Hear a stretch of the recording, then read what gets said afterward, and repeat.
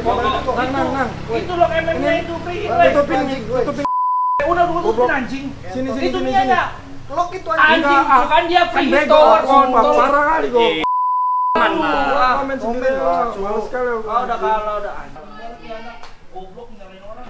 Bukan gitu, komen sendiri. Ya enggak apa-apa, solo anjing.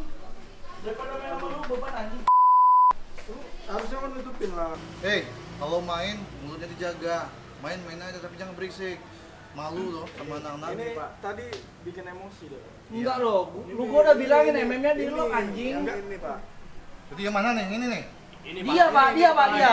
Ini Dia. ke, Polres aja nih. Bawa, Pak, bawa, bawa, bawa. Ini ini cuma masalah kecil, coy. Lu biarin nggak apa-apa, Pak. Saya nggak senang, Pak. Saya nggak mau nih ya. punya kawan Iya, kayak Pak. gini, Pak. Iya, Pak. Saya nggak terima, Pak. Saya nggak terima, Pak. on the beat.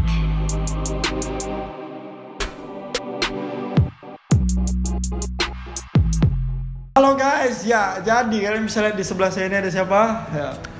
Ada Bapak Komandan ya. Panji Giovanni ya. Nah, Panji Giovanni. Jadi kalau kalian yang belum tahu nanti kalian bisa follow juga Instagramnya. Kalian bisa cek di description buat yang pengen tahu banyak uh, soal Bapak ini. Tapi di sini saya bakal sedikit bertanya-tanya sama Bapak ini dan tadi saya juga ngasih sesi buat Q&A ya di Instagram saya.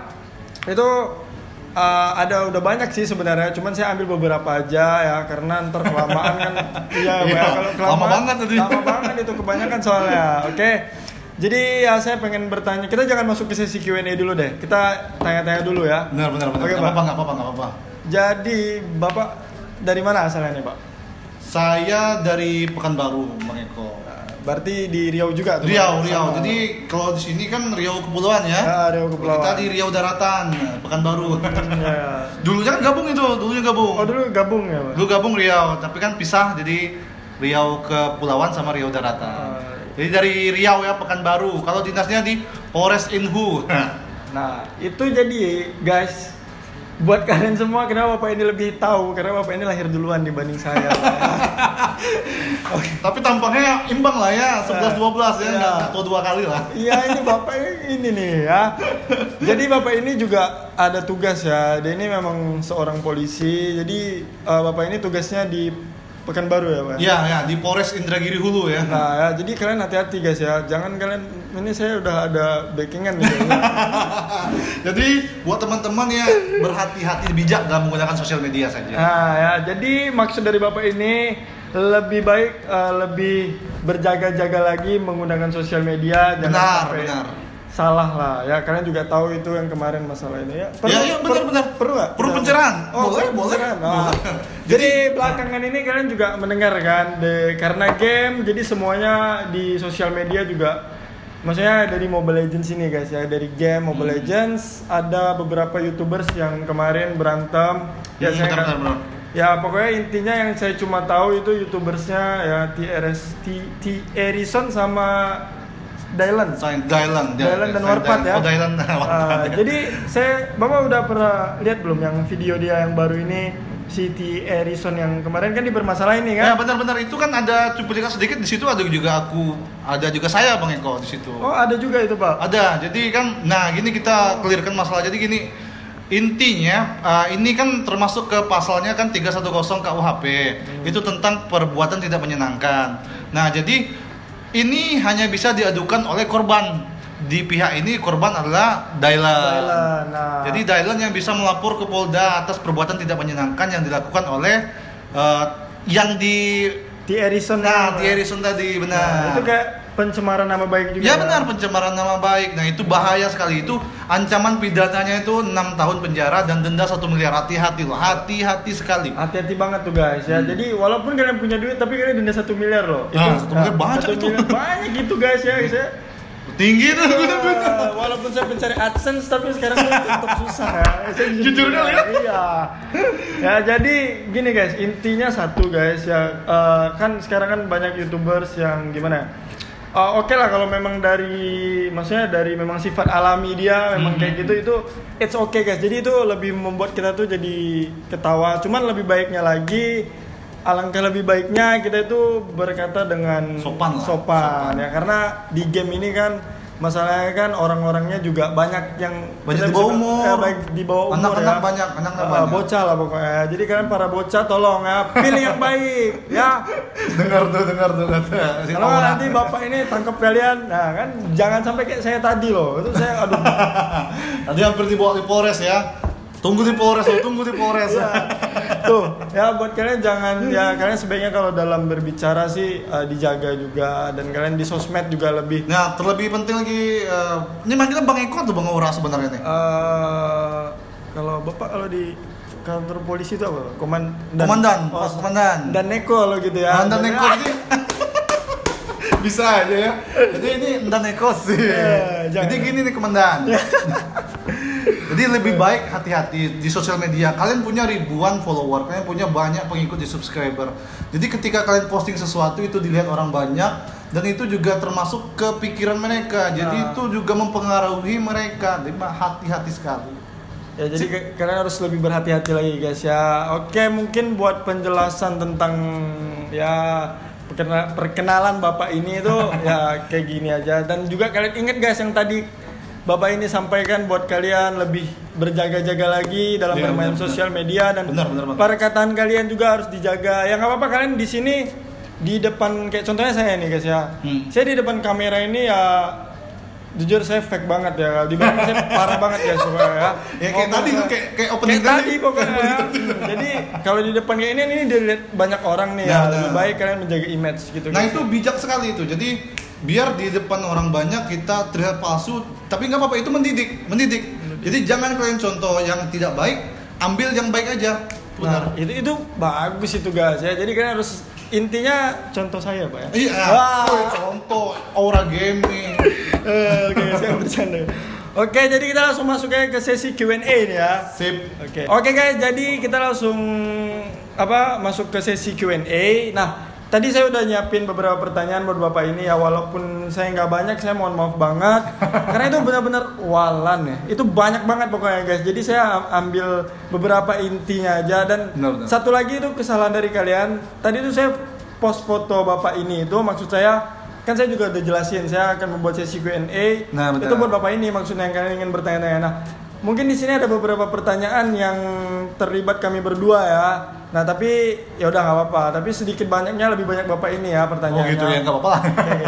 siap, siap, siap mandan. Gak apa-apa nih Pak ya, kita langsung bertanya. Oke. Siap, Dan. Pokoknya kalian dengar nih baik-baik guys ya. Siap. Dengar nggak? Langsung aja dan. Oke, langsungnya pertanyaan ke nomor satu ya. Dari Junia Sari nih, ini cewek nih Pak. Oh nggak apa-apa, bagus. Lanjut. bagus. Oke, Kacau nih. Bang, kenapa Kabel Fani itu membunuh dan kenapa Pak polisi ingin menjadi youtuber dan pemain MOBA? Waka waka. Nah, Waka waka waka ya. Ini tipe-tipe Indonesia waka waka nih. Wakanda. Wakanda for apa? Nah, Oke. Jadi kalau kabel Fani itu membunuh, mungkin lebih tahu Komandan Eko ya, Komandan Eko. Kalau saya ingin jadi youtuber, pertama AdSense. Bagus guys. Kita ngomong langsung jujur gitu. AdSense. jadi enggak, sebenarnya sih per- pertama penasaran pengen coba ya karena eh, di 2017 kemarin banyak yang orang pengen YouTube. Ya. Saya juga main game dari lama dari dulu makanya udah sekalian aja pengen YouTube gitu. Mau tahu terkenal dapat duit. Nah, sekarang juga ya Bapak ini udah mulai dapat duit ya. Walaupun- Dibantu, dibantu loh, dibantu loh. Jangan lupa subscribe. Jangan lupa subscribe pokoknya guys ya. Ya memang kalian tahu kami mencari AdSense, tapi ya kalian juga tahu tujuan Bapak ini sebenarnya bermain YouTube ya gitu. Jadi intinya Bapak bermain YouTube memang karena hobi gitu. Hobi, ya. bener Hobi. banget. Eh, Ke- Komandan Eko. Jadi gini Komandan Eko.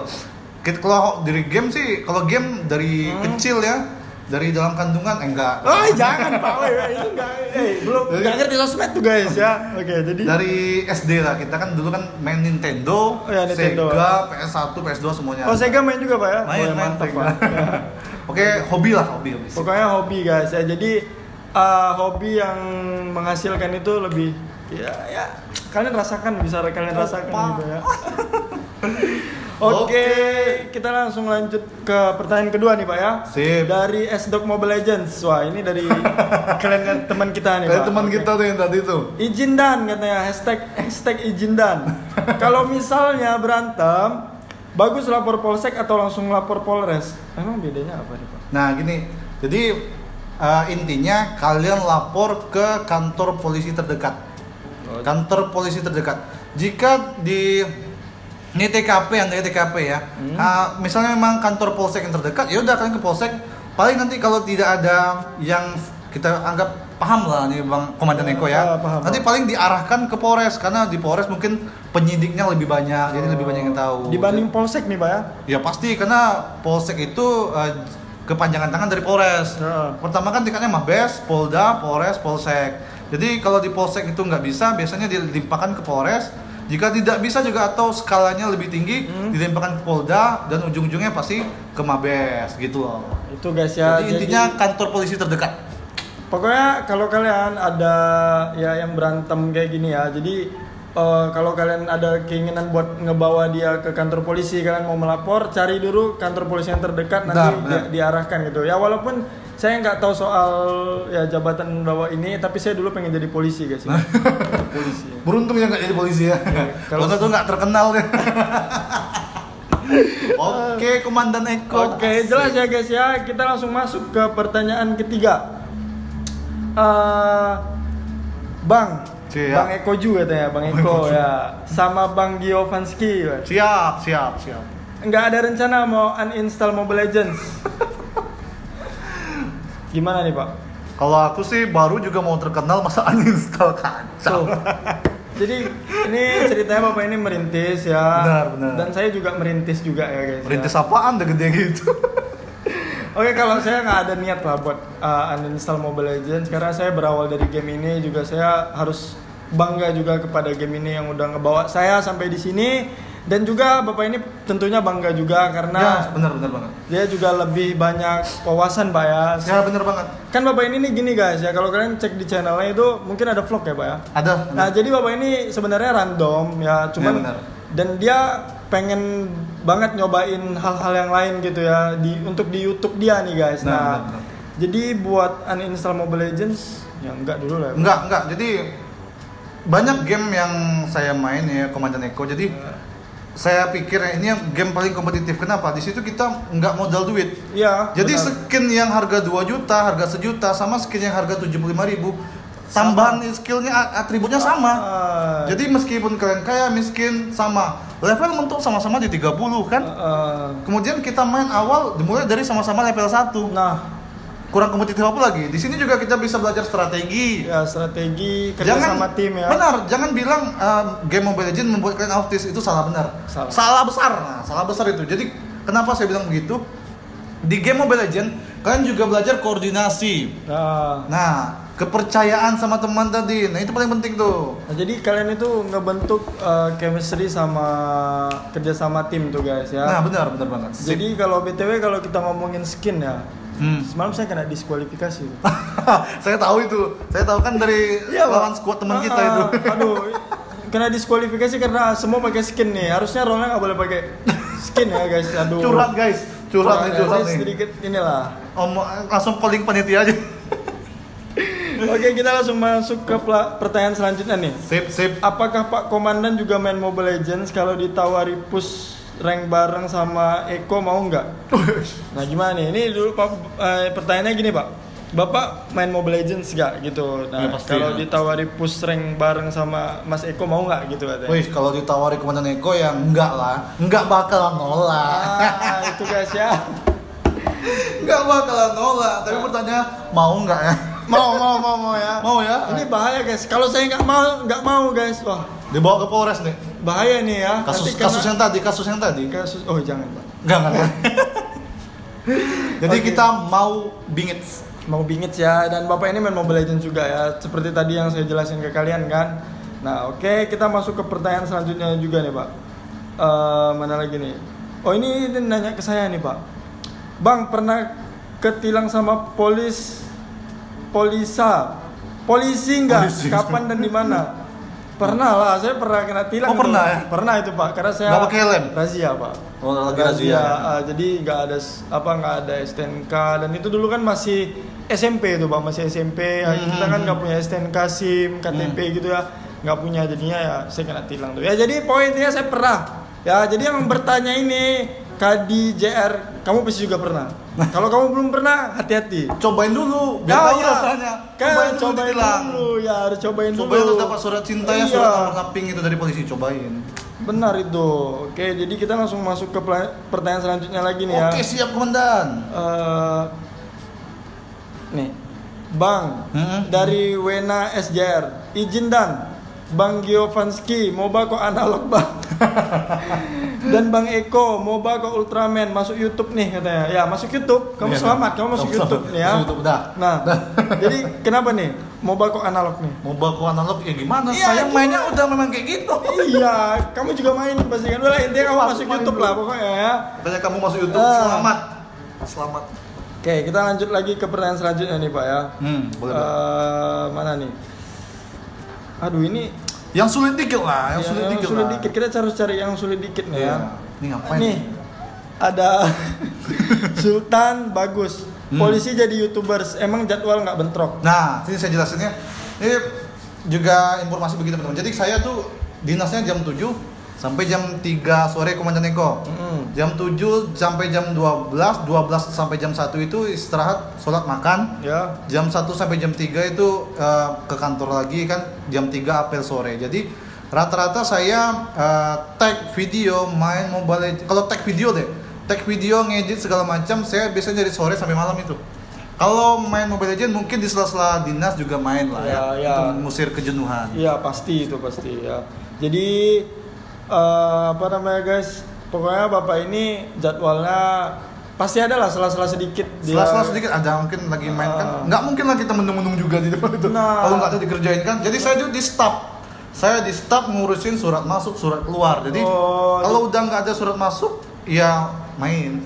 Jadi di kantor nih pak ya kerjanya. Di kantor, di kantor saya di kantor doang, nggak keluar. keluar. Kantor itu paling membosankan. guys. Nah, benar. benar ya pak? ya? Benar. Benar. Nah kantor Lebih tuh enak di lapangan. Di lapangan Betul. buser gitu ya, Ah, ah, intel, jadi bisa enak. nangkap yang yang toksik toksik kayak Iya, tadi ya. iya, kayak- eh, jangan pak.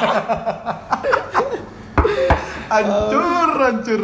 Oke, kita lanjut lagi nih Bapak. Ini kayaknya ngejek banget nih, mentang-mentang nyari duit kita. Ini AdSense nih katanya Pak. Ini maksud dia maksud dia ini Pak. Hmm? Kita ngebikin video kayak gini itu karena Cari AdSense. duit. Tapi memang ya Pak. Memang bener loh. Memang benar. Selamat, lu Selamat. bener. Nah, itu jawaban dari kami ya. Oke, kita lanjut lagi ke pertanyaan selanjutnya. Pak Ti Tri Pak Tri Eson gimana kabarnya? Tanya Pak polisi ya. Nah, jadi kalau untuk perkara untuk materi di penyidikan, Hmm. kita nggak tahu ya itu kan biasanya tuh surat pemberitahuan hasil penyidikan itu disampaikan biasanya per tujuh hari kepada orang yang melapor. Jadi setiap hasil penyidikan itu kan nanti kan di berkas itu Hmm. pada hari ini kamu gini-gini nanti dikasih tahu kepada yang melapor. Dalam hal ini kan yang melapor Kodailan. Jadi eh, Kodailan lah yang tahu perkembangannya. Tapi kalau kita analisa ya, ini menurut pendapat saya nih ya, itu kemungkinan semuanya ada di tangan Kodailan. Jika Kodailan mau cabut laporan bisa saja, tapi kalau enggak mungkin masuk itu masuk Masuk ya Pak. masuk penjara. Lokap ya. Lokap. Apaan lokap? Lokap itu bahasa bahasa Melayu itu. Bahasa Melayu ya? Penjara, penjara. Oh penjara, masuk penjara. Jadi ya guys kalian eh, yang tadi nanyain barusan kamu maksudnya. Eh, itu intinya kalau itu semua di atas tangan Kodelan ya berarti. Iya ya? benar benar. Kodelan kalau Kodelan pengen eh, masukin dia ke lokap, ya kalian terlihat aja lah jadinya. Tapi kalau dia nggak ingin masukin dia ke lokap juga, itu urusan Iya, bisa. Kodelan gitu, Kode- bisa juga gitu. Pokoknya semua itu di atas tangan Kodelan, oke? Selamat Kodailan. Selamat Kodelan ya, Kodelan hebat. Ya, kita lanjut lagi ke pertanyaan berikutnya nih Pak. Rajul Permana, kenapa Bapak polisi, eh, kenapa Bapak polisi ini bisa bermain Mobile Legend? Sedangkan masih banyak tugas yang lebih penting dibandingkan bermain Mobile Legends. Nah, ini kita luruskan dulu. Kenapa bisa main Mobile Legends sedangkan masih banyak tugas? Jadi polisi itu bukan saya sendiri ya. di Indonesia ini banyak ya di masing-masing daerah ada Banyak banyak. ada polisinya, ada kantor polisinya. Jadi saya itu tadi saya ada bagian tersendiri. Saya di bagian staff. Saya hanya ngurusin surat masuk, surat keluar. Kemudian ada permintaan ya kita buat. Iya. Jadi eh, bukan eh, memang saya bisa sih bisa sih kalau dipanggil ada sprint kita polisi bergerak atas ada surat perintah. Jadi kalau nggak ada surat perintah itu ya lebih baik jangan karena itu dasar hukumnya. Jadi begitu guys, bukan saya nggak kerja tapi pekerjaan saya eh, job description saya sudah ada. Nah, jadi itu pokoknya sebelumnya itu tugas-tugasnya memang udah diatur gitu ya. Benar, Dan ada bagiannya masing-masing. Kalaupun ada perintah itu bakal ada surat Suratnya dulu buat dulu. bapak ini dan dia ntar jalanin suratnya jalanin perintahnya. perintahnya, guys. benar, nah, benar. Nah jadi ketika bapak ini udah nyelesain tugasnya dan nggak, contohnya nggak ada Nggak ada tugas, nggak kegiatan ada lagi tugas. deh. ha. Nah jadi itu otomatis bapak ini bisa bermain Mobile Legends dong. Bisa gitu lah, loh. nggak ada larangan loh. Bener ya pak ya? Bener. Bener. Itu di lihat di channelnya iOS, malah Pak Ketua MPR Zulkifli Ah. Hasan, bener nggak? Iya benar benar pak. Ketua MPR lo main Mobile Legends, jangan salah. Jangan salah ya. Jadi semua itu pasti ada rasa jenuh gitu guys. Ah. ya. Da- di ke- pekerjaannya Benar. dan ya pasti mereka pengen ngeluangin waktu jenuh Ya, itu have buat- fun lah. Ah, have fun gitu guys. Sip, sip, sip. Oke, kita lanjut lagi ke pertanyaan terakhir nih, Pak ya. Oke, siap. Oke, ini pertanyaan terakhir nih guys ya. Daniel WTH, Pak Giovanski, gimana menurut Bapak tentang game Mobile Legends yang sampai membuat orang ngomong kasar? Oh my god, kenapa kalian bahas tadi saya? Tadi dia udah ngomong kasar nih, kan mau hampir bawa kita bawa ke Polres nih. iya, aduh jadi bahas lagi ya. Jadi gimana nih Pak? Jadi gini. Menurut Bapak? Main game boleh, Ya. Nah, asal jangan lupa waktu deh ngomong jorok, ngomong kasar itu jangan. Jangan Ki- sampai- saya saya tahu perasaan teman-teman juga, kawan-kawan semua juga, apalagi kalau kita kalah nih ya. Oh ya. Oh itu minta ampun tuh. Macam-macam isi kebun binatang kita sebut tuh. Iya. Dari beruang sampai madu. Jadi beruang madu. Nah, tapi ke bebek-bebeknya itu guys ya. tapi, Bang. tapi jadi bermain Mobile Legends sih boleh-boleh saja. Asal jangan saran saya kayak di awal tadi Komandan Eko. Iya. Hati-hati, bijaklah itu saja. sih. Nah, jadi maksud dari intro saya tadi guys ya. Hmm, nih, dijelasin dulu nih. Memang memang itu uh, memang saya saya jujur nih guys, di belakang saya ngomongnya kayak gitu, jujur aja ya. Saya memang di belakang di belakang kamera ya, maksudnya saya memang orangnya itu gitu, suka ngomong jorok ya. Saya memang gitu ya, saya jujur sama kalian. Cuman jadi itu si Daya itu contoh buat kalian gitu guys ya. Jadi pas juga karena ada pertanyaan kayak gini, makanya Pas banget. saya bikin konsepnya kayak gini pak ya nggak apa-apa bagus. Gitu, gitu ya guys ya. Jadi kalian jangan salah salah arti gitu guys ya. Jadi di sini kami ngelurusin gitu. Saya ngelurusin tadi itu apa maksud dari intro saya tadi guys. Oke. Ya mungkin pertanyaannya cukup sampai di sini saja ya. Cuma Kalau itu doang. Alah, kirain susah tadi. Iya, tapi gini Pak, maksudnya tadi itu pertanyaannya gimana Pak ya? Kan banyak ya Bapak ya. Ya, Tadi nggak kita lihat banyak Pak ya. Banyak. Jadi Tadi kita selektif lah kita Ah, pilih kita- kami selektif jadi itulah yang kami dapat guys ya pokoknya yang benar-benar apa ya yang benar-benar itu pertanyaannya yang ada artinya lah Nah, pokoknya jadi konten ini berfaedah lah gitu. Nah, ya. berfaedah pokoknya guys ya bukan mencari duit Iya. nggak berfaedah ini mencari duit tapi berfaedah jadi bermanfaat Nah, walaupun mencari duit tapi ada manfaatnya untuk kalian semua. iya gitu guys ya Oke guys, mungkin kalau kalian penasaran lebih penasaran sama bapak ini, kalian bisa langsung aja di follow Instagramnya ya, kalian bisa langsung follow nih kan. Di description-nya. Dan di description saya juga naruh Instagramnya, linknya. Oke dan bapak juga punya YouTube Pak ya? Iya, iya. Kalian bisa langsung subscribe ya, cek langsung di Description di description. Selalu dukung walaupun bapak ini pejabat ya. Enggak, enggak, enggak pejabat ya. Oh bukan. Aparat. Oh aparat saya sok tahu berarti guys ya. Dulu ini cita-cita yang nggak jadi. Nggak- jadi ya, syukur saya nggak jadi. kesel guys ya. Oke ya, walaupun bapak ini aparat tapi dia punya hobi yang lain seperti ini. Like this, oke jadi kalian bisa langsung kalau penasaran kalian bisa subscribe dan langsung aja ke Instagram dia. Dan kalau kalian ingin bertanya lebih tentang Benar, benar. uh, DM aja, DM aja. tentang apa aja lah pokoknya. Tentang apa aja deh? Masalah hukum, masalah apa? Enggak apa-apa, silakan aja. langsung DM ya, jangan Langsung lupa DM. di follow juga tapi ya. Oke. benar. Dan terima kasih banyak yang udah menonton video kali ini. Kalian jangan lupa Like, like, share. kalian juga jangan lupa like, share dan di subscribe channel saya dan di follow juga Instagram saya guys ya kalau kalian ingin tahu keseharian saya. Terima kasih banyak. See you sampai jumpa di video saya selanjutnya.